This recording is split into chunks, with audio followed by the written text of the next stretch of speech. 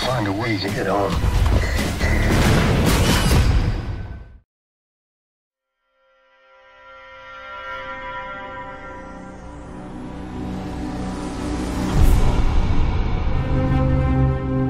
Twenty-seven forty-two requesting release.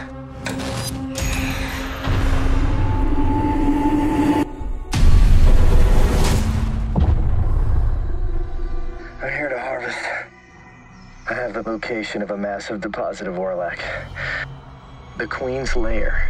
By my estimation, it's the largest anyone's ever seen. Someone is approaching. Where are you from? Nowhere. How poetic.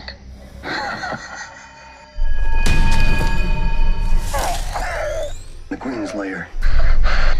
Where is it? It!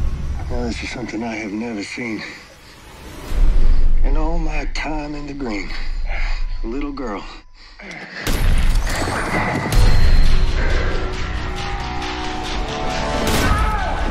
We're in the same trough, you and I.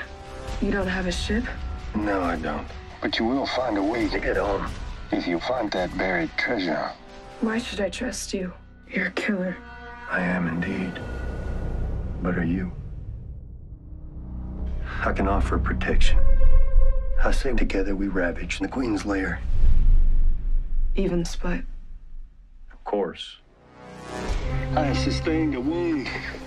I was hoping you had some juice. Here is our offer. I don't understand. For the girl. That is a bold offer.